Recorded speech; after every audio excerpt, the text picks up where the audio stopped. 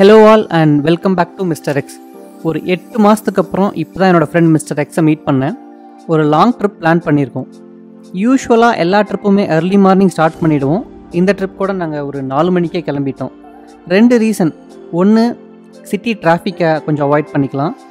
ரெண்டாவது வெயிலில் ட்ராவல் பண்ணுறது கொஞ்சம் குறைச்சிக்கலான்னு பிளான் பண்ணோம். எல்லா வருஷமுமே நாங்கள் வந்து கோவா போயிடுவோம். எனக்கு இது அஞ்சாவது தடவை என் ஃப்ரெண்டுக்கு இது ஒரு ஏழாவது தடவை. எல்லா தடவையுமே டைரெக்டாக போயிட்டு ஒரு அஞ்சுலேருந்து ஆறு நாள் நாங்கள் ஸ்பெண்ட் பண்ணிட்டு ரிட்டர்ன் வந்துடுவோம் இந்த டைம் கொஞ்சம் டிஃப்ரெண்ட்டாக போகலான்னு யோசிச்சு ஒரு two thousand kilometre round trip plan பண்ணியிருக்கோம்.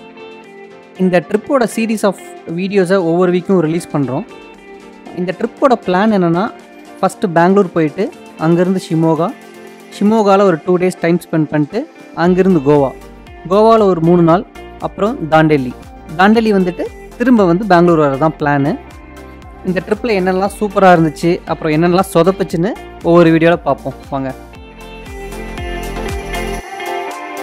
ஃபஸ்ட்டு நம்ம ட்ராவல் பண்ணுற ரூட்டை பற்றி பார்த்தோம்னா ஷிமோகா போகிறதுக்கு மொத்தம் ரெண்டு ரூட் இருக்குது ஒன்று பெங்களூர் தும்கூர் அப்புறம் தும்கூர்லேருந்து லெஃப்ட் எடுத்திங்கன்னா திப்தூர் அரிசிக்கரை தரிக்கரை அப்புறம் ஷிமோகா இதில் ஒரு ஐம்பது கிலோமீட்டர் மட்டும்தான் நீங்கள் ஹைவேஸில் ஃபோர் லேன்ஸில் ட்ராவல் பண்ணுவீங்க. மற்றது எல்லாமே டூ லேனில் தான் ட்ராவல் பண்ணுவீங்க. மொத்தம் இரநூத்தி எழுபத்தஞ்சு கிலோமீட்டர் போகணும்.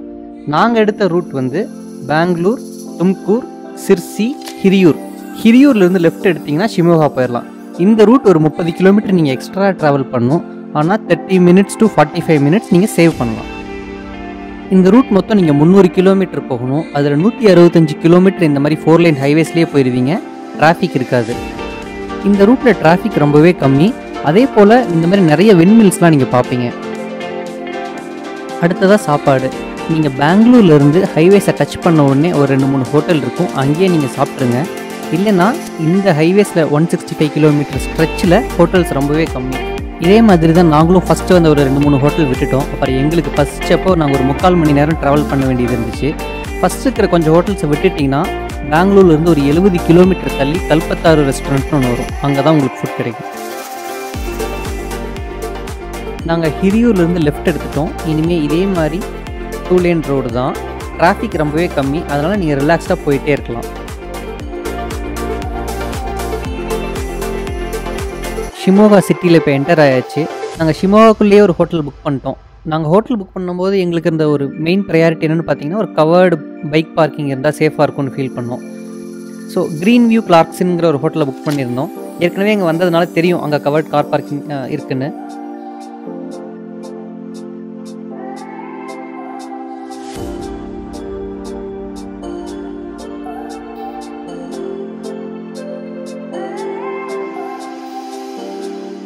இங்கே ரூம்ஸ்லாம் ரொம்பவே நல்லாயிருக்கும்.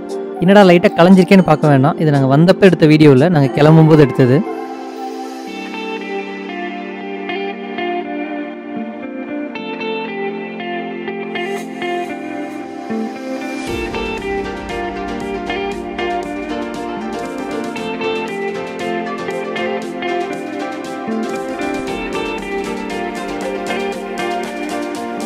ரெஸ்ட் ரூம்ஸ் ரொம்பவே க்ளீனாக மெயின்டைன் பண்ணியிருந்தாங்க.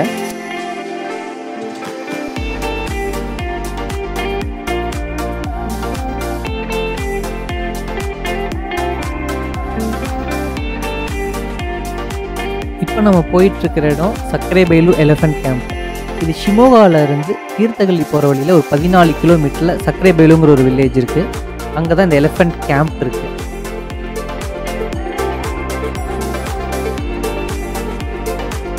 நாங்கள் இந்த எலஃபண்ட் கேம்புக்கு பிளான் பண்ணது எங்கள் ட்ரிப்போட மூணாவது நாள். ஏன்னா இந்த கேம்ப் வந்து காலையில் எட்டரை மணிலேருந்து பதினோரு மணி வரைக்கும் தான் ஜென்ரல் பப்ளிக்கு ஓப்பனாக இருக்கும். ஃபஸ்ட்டு நாள் நாங்கள் ஷிமோகா ரீச் ஆகும்போது ஒரு மணி ஆகிடுச்சு போக முடியாது. ட்ரிப்போட ரெண்டாவது நாள் கொடைச்சாத்திரி பிளான் பண்ணியிருந்தோம். அதுக்கு நீங்கள் ஏர்லி மார்னிங் கிளம்ப வேண்டியது இருக்கும். ஸோ மூணாவது நாள் இந்த எலிஃபென்ட் கேம்பை பார்த்துட்டு அப்படியே கோவா கிளம்புறது தான் எங்களோட பிளான்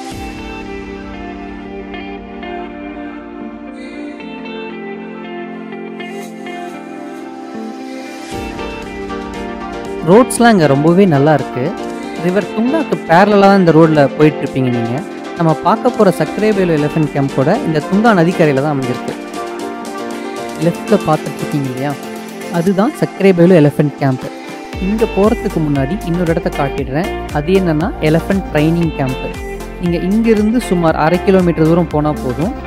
போகும்போது ஒரு பெரிய பேரிகேட் வரும். அப்புறம் நிறைய ஸ்பீட் பிரேக்கர்ஸ் பார்ப்பீங்க. இங்கே தான் நீங்கள் ரைட்டில் கட் பண்ணணும். ரைட் எடுக்கிறதுக்கு முன்னாடி ஒரு செகண்ட் வெயிட் பண்ணிவிட்டு நீங்கள் போகிற வழியில் யானை ஏதாவது வருதா பார்த்துக்கோங்க. அப்படி வந்துச்சுன்னா வெயிட் பண்ணிவிட்டு யானை கிராஸ் பண்ணுற வரைக்கும் வெயிட் பண்ணிவிட்டு அப்புறமா போங்க. நீங்கள் பைக்கை ஆக்சிலரேட் பண்ணவோ இல்லை ஹாரன் அடிக்கவோ வேண்டாம். ட்ரைனிங் கேம்ப் வந்தாச்சு. நீங்கள் பைக் இங்கே வெளியிலேயே பார்க் பண்ணிவிட்டு உள்ளே போங்க. முடிஞ்ச வரைக்கும் காலையில் நேரமாக வந்துடுங்க கொஞ்சம் லேட் ஆகிடுச்சுன்னா இந்த வழியில் யானைகள்லாம் வெளியில் போக ஆரம்பிச்சிடும் அப்போ உங்களை உள்ளே அலோவ் பண்ண மாட்டாங்க. இங்கே மொத்தமாக ஒரு இருபத்தஞ்சி யானைகள் இருக்கும். காட்டிலிருந்து பழக்கப்படுத்தாத யானைகள்லாம் கூட இங்கே தான் கூட்டிகிட்டு வந்து பழக்கப்படுத்துவாங்க. பாட்டெல்லாம் பாடி அதை அப்படியே நல்லா காம் பண்ணுவாங்க. பார்க்கவே நல்லாயிருக்கும்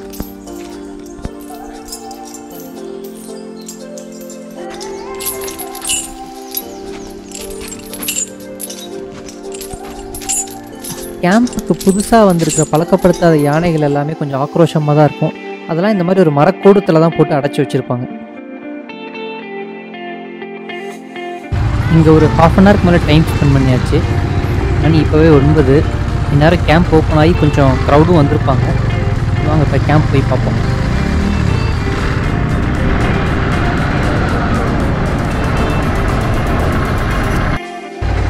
கேம்ப் வந்தாச்சு. பார்க் பண்ணிடுவோம். நீங்கள் ஹாலிடே சீசனில் வந்தீங்கன்னா கூட இந்த காம்பவுண்டுக்கு வெளியே நிறையவே பார்க்கிங் ஸ்பேஸ் வச்சுருக்காங்க. அதனால் இங்கே பார்க்கிங் ஒரு பிரச்சனையே இல்லை. ஆமாம் இல்லை மிஸ்டர் எக்ஸை காணும். ஓ இதோ வந்துட்டாரு. நம்ம கூடவே ஒரு குட்டி கெஸ்ட்டும் வந்திருக்காங்க. இல்லை இல்லை நம்ம தான் அவங்களுக்கு கெஸ்ட்டாக வந்திருக்கோம். வாங்க அப்படியே அவங்களே ஃபாலோ பண்ணிட்டு உள்ளே போயிடுவோம்.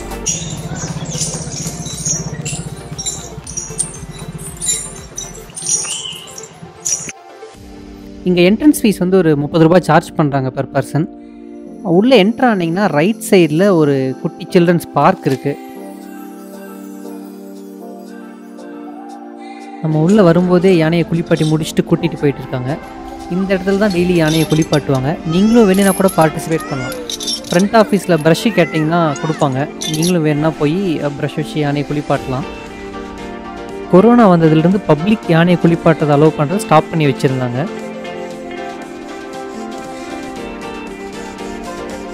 மைசூரில் நடக்கிற தசரா ஃபெஸ்டிவலுக்கு இங்கிருந்து தான் யானைகளை வருஷம் வருஷம் ட்ரெயின் பண்ணி கூட்டிகிட்டு போவாங்க.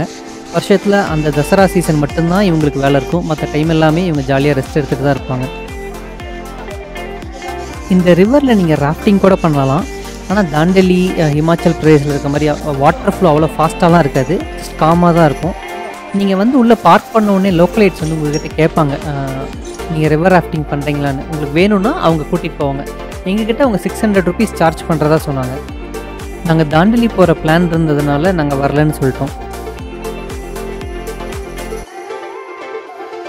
இந்த அடுத்த ஆக்டிவிட்டின்னு பார்த்தீங்கன்னா நீங்கள் எலிஃபெண்ட்டில் ரைட் போகலாம் பர் பர்சனுக்கு செவன்ட்டி ருபீஸ் சார்ஜ் பண்ணுறாங்க இந்த பார்க்லேயே ஒரு ரெண்டு ரவுண்ட் கூட்டிகிட்டு போவாங்க. ஒரு அஞ்சுலேருந்து பத்து நிமிஷம் யானை சவாரி இருக்கும்.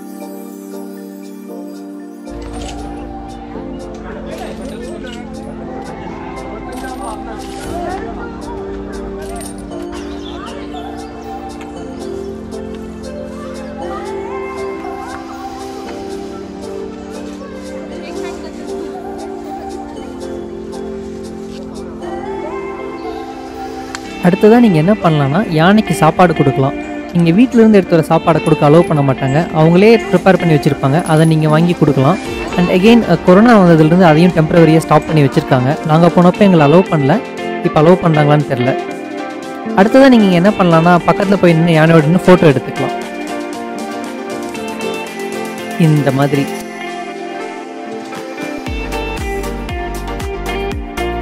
லைக் லைக் பண்ணுங்க சப்ஸ்கிரைப் பண்ணுங்க. பிள்ளைங்க ப்ளஸ் பண்ணிடுங்க